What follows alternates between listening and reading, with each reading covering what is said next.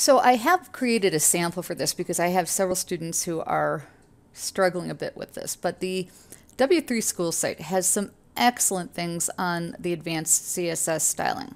So we're going to start with the CSS combinators.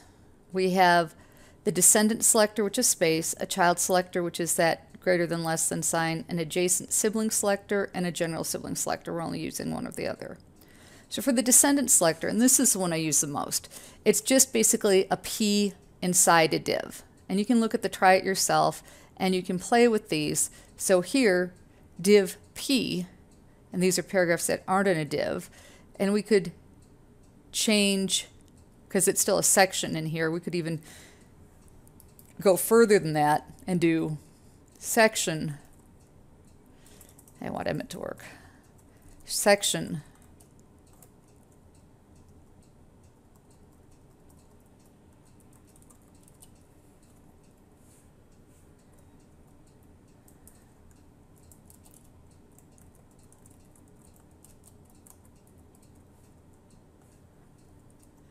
and we can get more specific that way. So in my example here, and I'll put this out there, I have my descendant selector. Let's go ahead and inspect this. It'll let us sort of, let's look at the sources.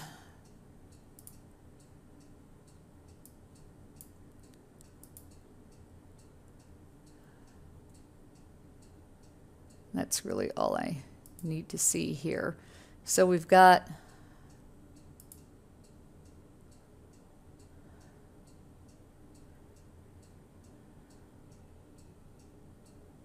my descendant selector, descendant H1.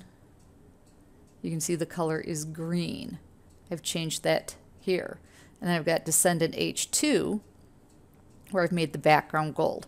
So it's the H2 tag inside the descendant and that's a div with the ID of descendant. So it's inside the descendant ID div H1 becomes green. And since I, this was also an H1, that also becomes green. Then we look at the child selector. This is a greater than sign, div greater than P.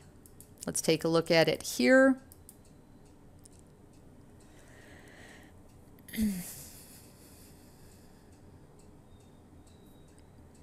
And so paragraph three is in the div, but it's not a child. So you can see how that changes. So sometimes child and descendant can be used interchangeably. So in my code, let me minimize that and just flip out to the website.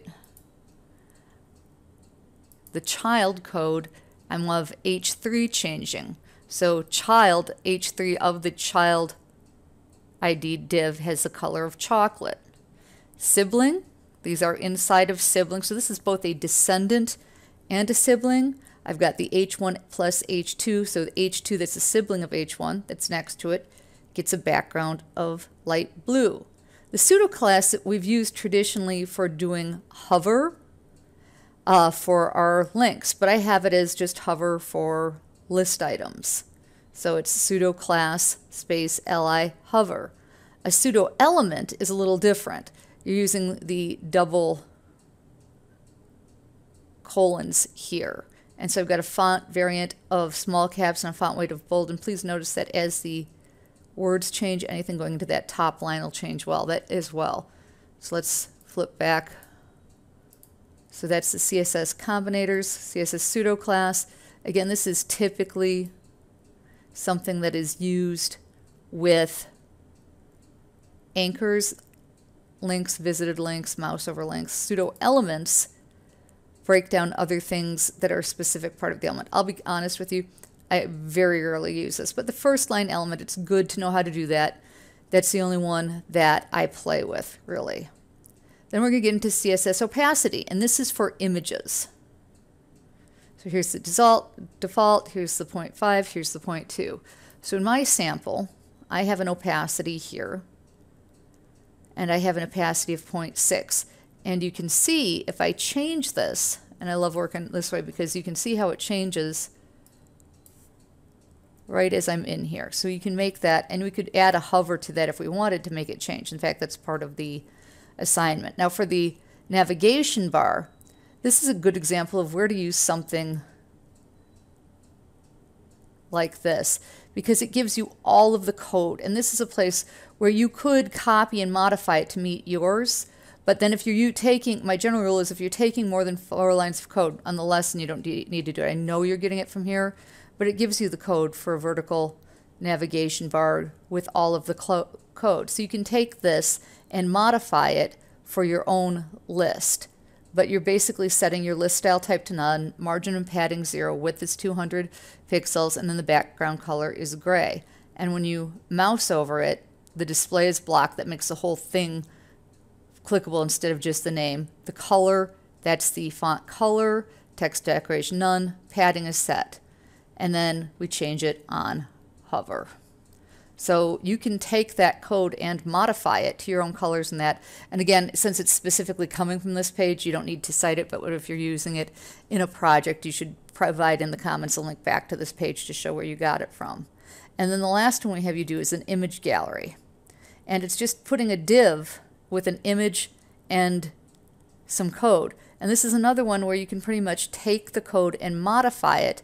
So don't use this exactly the way it is. Play with the colors, play with things like that. So in my samples, I've only done one for the image gallery and it's cute puppy, but I could have put more in here. So that's a sample and I'll put this up.